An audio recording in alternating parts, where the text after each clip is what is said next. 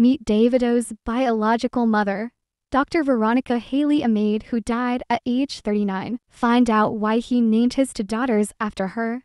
Or were Imade Adeleke 9 years old, born by Sophia Momodu and Hailey Veronica Adeleke 7 year old.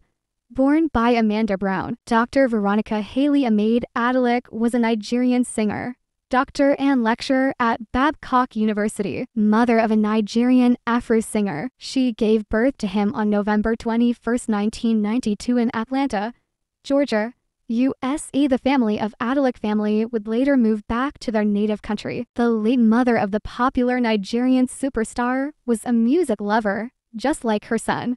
In the 90s, she had a brilliant music career and owned a record label.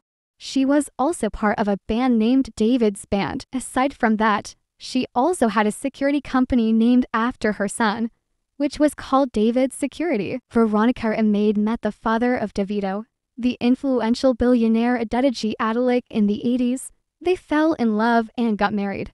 Together, Veronica and Adedeji had two children, David and Sharon. Her husband, Mr. Adeleke, was a donor at Babcock University where she was a lecturer.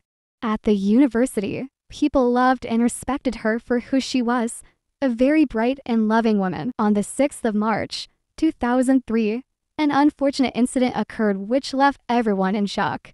Davido's beautiful mother passed away and was coincidentally the 40th birthday of her husband Adedeji Adeleke.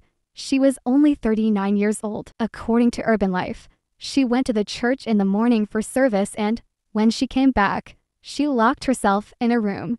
A few hours later, she was found dead in her apartment. The funeral of Veronica Adeleke was held soon after her tragic passing, and her band, David's Band, played there. It is not surprising that her son decided to pursue a career in music and became successful at it.